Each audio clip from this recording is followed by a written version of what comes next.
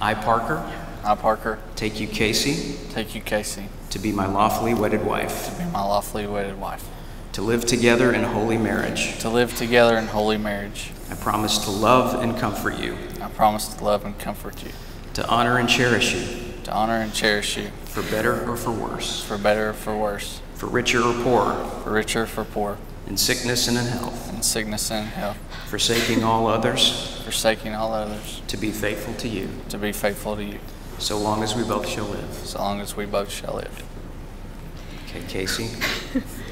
I, Casey, I, Casey, take you, Parker, take you, Parker, to be my lawfully wedded husband, to be my lawfully wedded husband, to live together in holy marriage. to live together in holy marriage. I promise to love and comfort you, I promise to love and comfort you, to honor and cherish you, to honor and cherish you, for better or for worse, for better or for worse, for richer or poorer, for richer or poorer, in sickness and in health, in sickness and in health, forsaking all others, forsaking all others, to be faithful to you, to be faithful to you, so long as we both shall live. so long as we both shall live. Parker and Casey, as you have each pledged to the other your lifelong commitment, love, and devotion by the authority committed to me as a minister of the gospel of Jesus Christ, and according to the laws of the state of Tennessee, I now pronounce you husband and wife.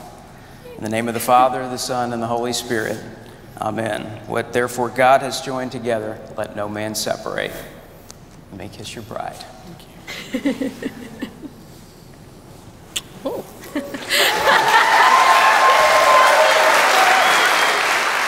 Ladies and gentlemen, it gives me great pleasure to introduce to you Mr. and Mrs. Parker Seabolt.